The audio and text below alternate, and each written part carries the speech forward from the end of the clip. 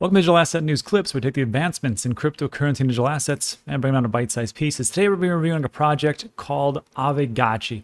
And I have to tell you, I gotta tell you, for something, for a game so simple, uh, the backdrop and the things going on in the background are incredibly complex. So it took a while for me to wrap my head around it. But uh, what we're going to do is we're going to start, start with talking about the game intro, just tell you about what the game is and why it piqued my interest. We're going to talk about uh, investing into people and uh, the tokenomics, the staking, and then of course we'll get into the Gotchiverse, which is the metaverse over on Aavegotchi. And what I did was I actually interviewed uh, Jesse, he's one of the co-founders of, of Aavegotchi, and the audio, for some reason, the microphone didn't pick up uh, part of my talking. So what I'm going to do is I'm going to do this review and deep dive a little bit different.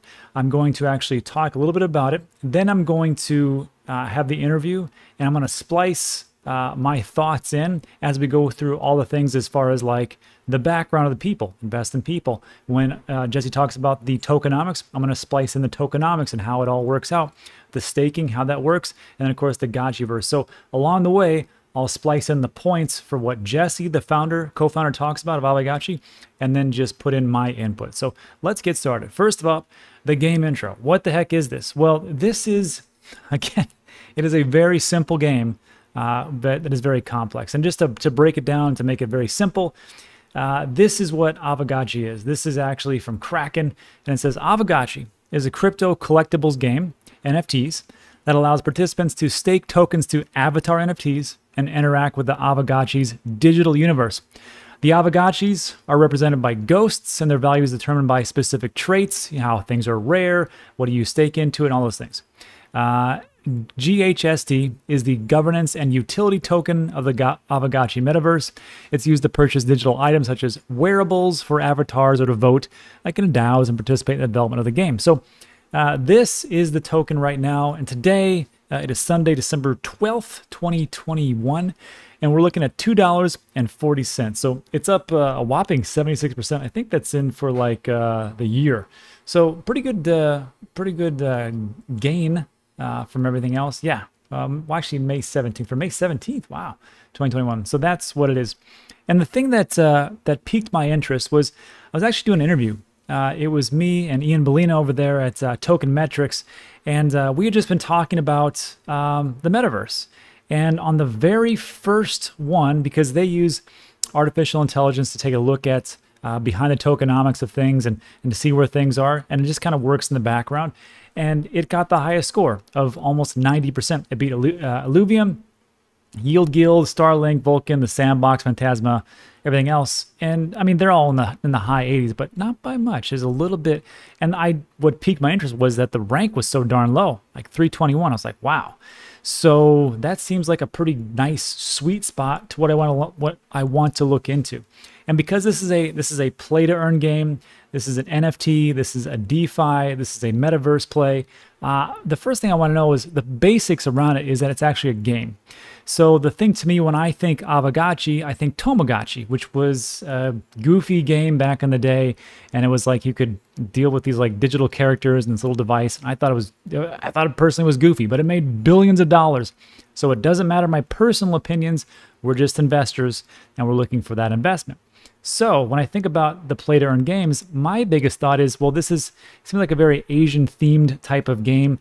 Uh, so I'm just thinking myself, well, where are all the gamers? Well, this is from Statista.com, and it takes a look at the number of video gamers worldwide in 2021 uh, by region. And the very top one is Asia, uh, 1.4, Europe, 715, Latin America, 419, North America, 284. This is in millions. Uh, MENA, Sub-Saharan Africa, and Oceania. Oceania. So when I take a look at this, I'm like, okay, so we've got one good part, uh, what's going on as far as like what it is. It seems like it's combining a lot of different things. It also uh, has a pretty high score as far as what the AI driven thing and token metrics. And it looks like as far as play to earn, these are types of games that, that might interest a certain specific region. And that's what is going on. So when you take a look at the actual token, which is the Ghost, the GHST token, okay? Um, this is not ranked too high. Like I said, it was already ranked kind of low. And uh, this is what the token itself does. It allows you to play the games, governance, rarity, the parcels, cons- consumables. Again, this is all in-game play. wearables and portals. And now for some of you, this might be a whole different language, but it really doesn't matter. Again, I am not going to go over uh, everything that has to do with with the gameplay and how the game is used and how you can get these consumables and wearables. I do not. That is not my specialty. There are a ton of different videos that are out there. Hashoshi did a great video with. Uh, uh, with one of the other uh, co-founders with Coder Dan. I will link that in the description. You can figure out how to play the game. My big thing is, as an investor looking at this, where is everything going? And is this actually a good project to get into. So what I'm going to do now is I'm going to flip forward and I'm going to bring in Jesse. Again, the audio was horrible, so I, I cut myself out. And we're just going to talk about just the intro, and he's going to give us an overview of the game itself. Then we'll go over the background, the tokenomics, and everything else. So let's jump right in and talk to Jesse. Yeah, thank you for having me and, and covering Aavegotchi. So it's really one of the most special projects in the space. I'm a bit biased, but um, it's completely on chain NFTs that whole project was born from a bonding curve, which means it's fair distribution, governance tokens from this from literally day one. The community has kind of been there to back us and, and grow it, all based off a white paper we published about two years ago. So, well, coming up on that. Yeah. So if yeah.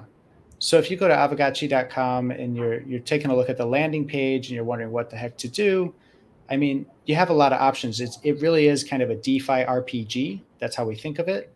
So you could participate in the Gotchiverse that's upcoming, and, and there's a lot of play to earn aspects there that are very interesting. But I think maybe your audience would also appreciate just understanding how Ghost Token works, our GHST token. And um, if that's something of interest, we can also talk about that. So great, Jesse did a great job of explaining kind of like what what the whole game is and what it kind of does. Now, before we get into tokenomics, everything else, it doesn't matter all those different things to me. I invest in people. I look for big teams, good teams. I look for products that have actual real world uh, utility that, are, in this case, are really entertaining and actually uh, have utility for people as far as play to earn. So my big question first is, who are you? and who is, who is the team behind it? Why did you actually build this and what's going on? Because if I'm going to get into uh, a project, I want to know exactly who I'm getting into it with. So let's listen to Jesse talk about his background and why he did, him and the team did this. Yeah, absolutely. So my background after the 08 crisis, I just graduated university and I, I kind of saw the landscape for what it was. I had done a semester abroad and I said, you know what, I'm going back to uh, actually mainland China, going to pick up my Mandarin and live overseas for a while. I think there's there's potential there. And actually, while I was overseas, I was going to law school and came across Bitcoin. And so I got into uh, the crypto space through Bitcoin, as, as so many do. Ended up writing my legal thesis on Bitcoin regulations in China versus globally. Uh, ended up starting a, a, small meetup group in in uh, a, a, small seaport called Xiamen, getting to know kind of the expat community there and the Chinese, and um, ended up befriending a, a, a developer named uh, Coder Dan. And so Coder Dan is my co-founder on this project, and he's uh, he's been coding forever, and he embraced Solidity and and Web three, and so we had you know I, I went on to work in um, digital asset exchanges like ZB.com on on the Asian market and doing a lot of that kind of work for years, and I came across a lot of NFT projects, and that's where my curiosity and my creative side really got quite passionate. And I said, you know, I'm going to leave the exchange and go full in on my own NFT project. This is like two years before Bored Apes, right? This is like really a ghost yeah, town. Stuff. Yeah. But I was just like, this is fascinating and powerful stuff. It's culture on the blockchain. I want to be a part of it. And so I helped co-found Mintable.app, which is like the first you can code it yourself, mint it yourself. Okay. Um, I thought that was powerful. Got in and, and worked with Zach Burks on that and then after that, I, I said I, I really got obsessed with this idea of taking an NFT and using it to wrap it around tokens like cryptocurrencies. And I thought that was fascinating. So we issued something called BullionX, which was a gold stable. DGX is a gold stablecoin wrapped in NFTs. Um, but then I figured out, you know, the audience for that is uh, there were liquidity issues and like, if you want gold, you want gold. If you want crypto, you want crypto. So it didn't really perfect. It wasn't perfect. It was a great kind of starting point for what eventually became Aavegotchi because it was like, okay, this is the first time, literally the first time that ERC 721 NFT is wrapped around a cryptocurrency ERC20 on Ethereum. And so we pioneered that. And then we just took it a step further by basically saying, as an Aavegotchi, it's like a piggy bank. You are depositing Aave interest yield generating tokens into your Aavegotchi. So how cool is it to have a a digital t- uh, piggy bank that actually is like giving you a yield better than your you know your corner bank. All right, so I think Jesse did a pretty good job explaining exactly what his background is and how he got into it, and uh, his knowledge base looks like he's done has been around the block for a little bit. So there was just a couple things I need to make mention of what Jesse talked about to expand on them. And it's like really three things. So the first thing I want to talk about is he said it's an ERC 721 wrapped in an ERC 20 blah blah blah right so just so you know we talked about uh, the actual ghost token uh, the ghost token, GHST, that is the token. This is the avatar ghost, and this is your ERC 721, also known as an NFT. So this NFT that you have, that you were going to, you can purchase that uh, over at the website at Aavegotchi. Uh, it's also wrapped in an ERC20 token, which in this case, that's see that center thing in the in the forehead, that's their spirit force. And this is all the gaming part. I am not getting into the gaming. I will leave that for the experts who uh, who do those videos. I will link them at the very end as far as you can watch how the gameplay all works out. So the Spirit Force, essentially, you are wrapping into an ERC20 token. That could be Ethereum, it could be uh, Chainlink, DAI, any other kind of cryptocurrency you, you have. So if you take a look at it, if you think about it, what you really have is you have uh, DeFi, and then you have, of course, because everything's wrapped in there, you're staking, you're earning yield. Uh, then you have a play to earn aspect on the different asp- on the different parts, and then of course Jesse will talk about that. And then you're melding this into a metaverse play, which now is become be, will be called the Gotchiverse, and we'll get in that later. So these all things that you have, it's great. And of course the, the play earn aspect, you have these different little like mini games that you can play where you have like reverse Pac-Man, which I guess you are the ghost chasing Pac-Man. I'm just guessing. And then uh, I mean just different little goofy things where you have experience points and you can, you know, gain different things just by playing the game. And this is really leads into our next part about the tokenomics. And tokenomics are probably the most um, critical thing to understand for any projects. We overlook this we've got problems. So I'm going to let Jesse talk about it first. Then I'm going to jump out and we'll talk about this. We'll drill down into a, a, little bit more thorough. So let's jump into the interview. Looking at, you know, when we came to launch Aavegotchi, we thought we want to do this, but we're also very interested in this idea of some healthy tokenomics for the token that's going to kickstart this. And we want to do fair distribution, have a have a DAO from the very first day. I was I was very interested in DAOs, and um, so we launched right from day one with Aavegotchi DAO. It's powered by the GHST token, Ghost token. And what that means is you basically have governance of a game. Like, how cool is it to have direct impact on games that are being made, right? So, metaverse or otherwise. Right. And um, one of the first features that the DAO proposed and that we implemented was this idea of doing staking um, for your for your ghost tokens, but in a a way that rewards people who are long term holders. So if you have Ghost Token and it's in your MetaMask wallet, then this is for you. If it's on an exchange, you can you can withdraw, get on Ethereum, and then from there, all you got to do is go to our website, go to aavegotchi.com, click on connect to Polygon. If you have your MetaMask hooked up, you you wouldn't see this landing page, you'd see something else. And yeah. you'd click and you'd you'd be on Polygon instantly. We automatically flip you over. So if you've never been on a layer two before, that's one of the best things about Aavegotchi is it's a place to learn and interact with all these protocols. Right. So that makes a lot of sense what Jesse talks about tokenomics and he, and he touched on things briefly. So it's important that we break these things down. And just a little warning, it's going to get uh, a little technical and it's going to get long. So if you don't want to listen to this part, you can skip it. But I will just be honest with you, tokenomics is probably the most important part of any project, at least one of them. So we're taking a look at the tokenomics in itself. We take a look at uh, the Aavegotchi wiki and they kind of just lay everything out, which is all based on their white paper. So it kind of just condenses the information a little bit more readable, a little bit. So this is the tokenomics. I like how they wrote this because they pretty much just said, look, uh, you should care about the tokenomics as much as we do because it'll save you from, you know, uh, venture capitalists uh, having 50% of the uh, total uh, amount of coins that are out there and they dump on you hard as an investor. So just be aware of stuff like that. So they say Aavegotchi's approach to revenue sharing and tokenomics aims to balance four goals get a healthy play to earn ecosystem, ensure that Ghost token has a strong foundation, uh, build a treasury for Aavegotchi DAO, to use on spending and provide ongoing financial rewards for those developing Aavegotchi. And you got to pay the developers because you got to keep this thing fresh and new and good. And if you'd pay them only in, we'll say, Ghost token, that's a lot of Ghost token. But what they did is they flipped it with uh, Ghost and Dai. So here's a distribution. And there was, it was broken up into three phases or three stages private sale, pre sale, and public bonding curve sale. And that's that's the little bit tricky one. So the private sale is pretty straightforward. Here's 5 million ghost token, right, for a nickel. And that came out in August 2020. And uh, don't worry, because after a year, uh, all the lockup period is gone. So we are now in December 12th, 2021. So you're safe.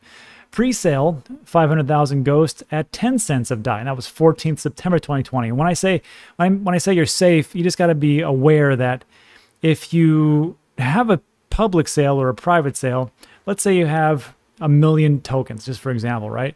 And in that private sale, 750,000 uh, go away. You know, you, you can buy them for a nickel. And then when they go public, all of a sudden they're like a dollar, two, three dollars, and all the masses buy up. Well, all the people that just bought at, you know, a nickel are like, here you go, suckers, and they dump on you. But in this case, they said, look, uh, the whole uh, amount, we, we did 5.5 million, the pre and the private sale. And then it says, uh, and it just states what I say. Participants of the private sale and pre-sale will have their ghost tokens vested over a period of one year. And then the third stage, which is the, I think the most tricky, public bonding curve sale. They state there is no limit on the supply of ghost in this round, and there's no limit on the time. So it's going on essentially right now. This is the sale is going on right now.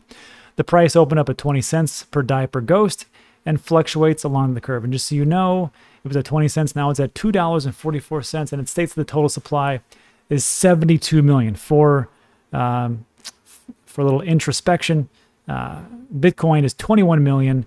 And uh, this one's only 72 million. There's others that are like 450 billion. And there's some other tokens that are like a quadrillion, which I think is quite ridiculous. So, this bonding curve sale, this is the one that you got to pay attention to because it's like, well, if there's, how does this all work? So it works like this the bonding curve. A token bonding curve is a mathematical curve that defines a relationship between price and token. Typically, in a bonding curve, the price increases as the supply of the token increases and decreases as the supply decreases. Kind of flips it on its head to what we're used to, right? We get a bunch of tokens, and of course, uh, when they sell them all off, then it gets more scarce, and the more scarce, and the price goes up. And then when they dump a bunch of tokens, and the price goes down. But a little bit different here.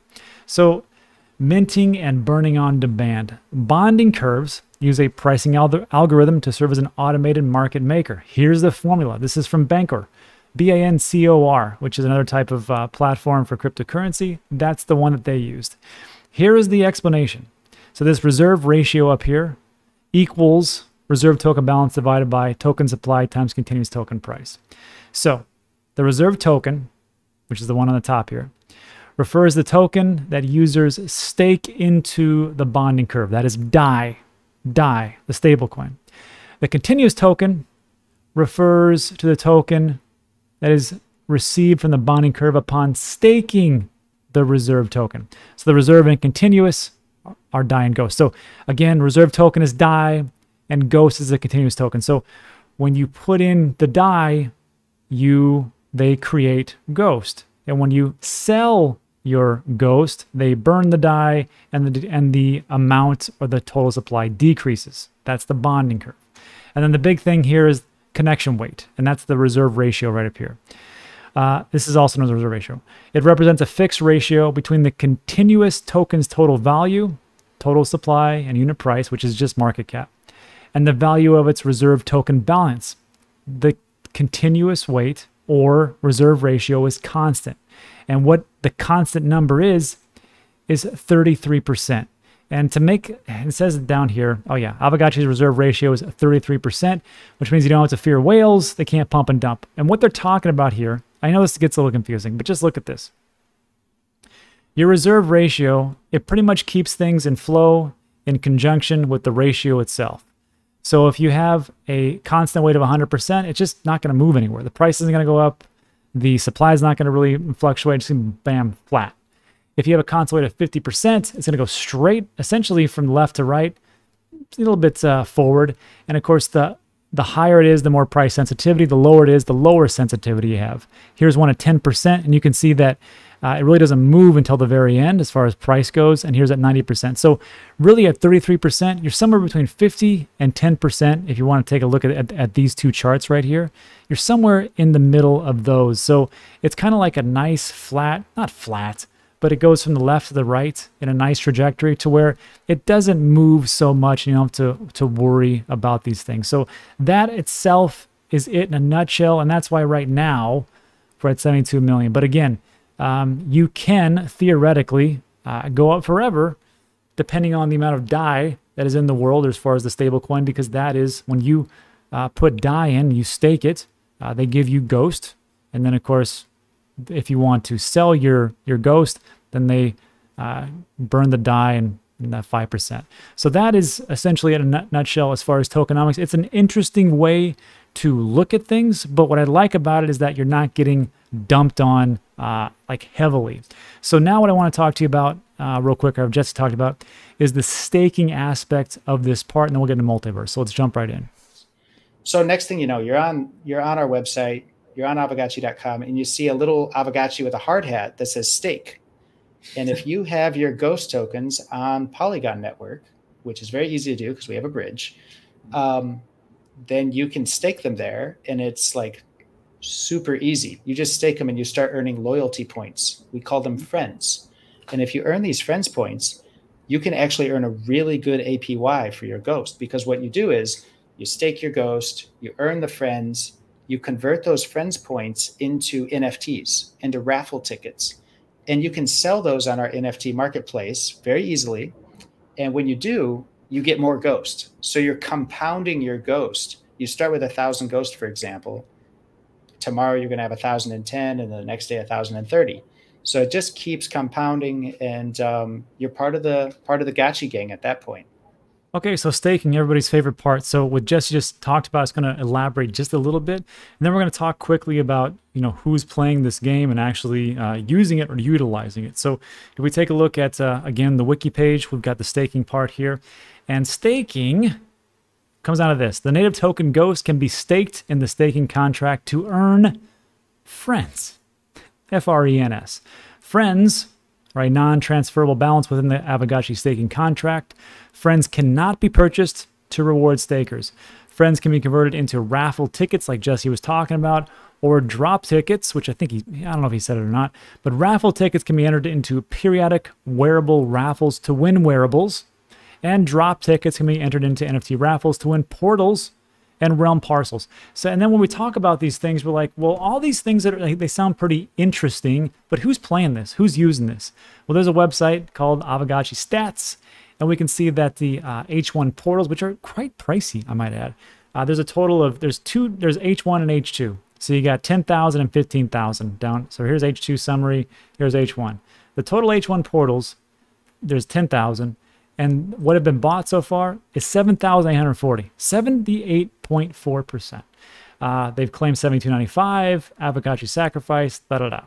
Here's the summary of the H2. You have 15,000 and 10,455 were were purchased. And, and this is just a part of the the Aavegotchi game. And of course, if you see like a lot of people buying, well, uh, that is just an, a some indicator that it could actually be a pretty good thing. Then here's the summary. Uh, so 25,000 portals, you can see it right there.